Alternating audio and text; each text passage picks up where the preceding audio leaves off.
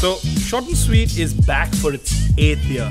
This is the biggest theatrical event that happens on the calendars of the UAE, and we're really excited. Um, this year, as each year, is going to be the biggest and the best. And we're excited. We're excited to see 110 plus plays. We're excited to see various nationalities in Dubai come together. We're excited to see plays of different languages come in. Short and Sweet is the great equalizer. It provides a platform for people to do what they're really good at, whether that be acting, directing, writing, and then to do it in front of people that they love.